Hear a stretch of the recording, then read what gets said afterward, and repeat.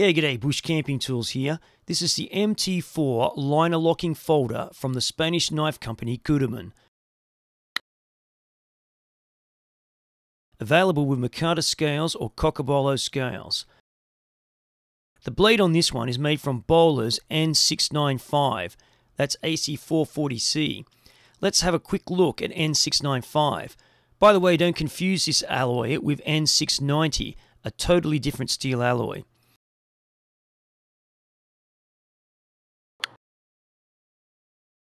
N695 is a high carbon, high chromium steel alloy with good corrosion resistance.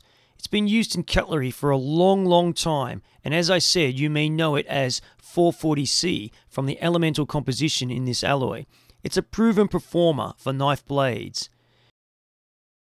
The MT4 is a liner lock with stainless bolsters and two thumb studs for one-handed operation. The overall finish is very nice and it's not too heavy and it's very comfortable to hold. The MT4 is supplied with a third-party tactical black Cordura pouch and is of excellent build with MOLLE capability. Let's take a further look.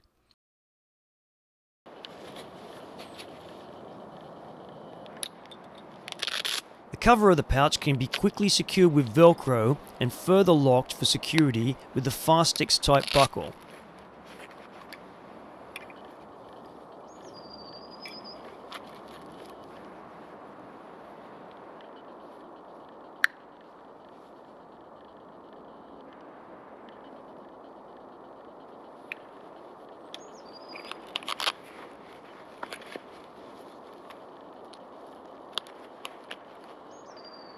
So what am I looking for in a liner lock folder? Well, for any folder, there must be no slop in the blade, either laterally or in the direction of the blade axis. A true test of the locking mechanism is to see how secure the blade is when applying force to it, and the easiest way to do this is to carve some timber and do a little lightweight chopping. No problems here. This model passes that test. Who is this knife for? This is a nice, small, and well made light folder. Good for numerous tasks like any folder of this size, example, overnight camping, mushroom gathering, etc.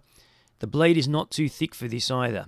Fishing, it's a proven steel for good corrosion resistance. The MT4 is certainly EDC where legal. It looks good, and as I said, it's comfortable to hold. Thanks for watching.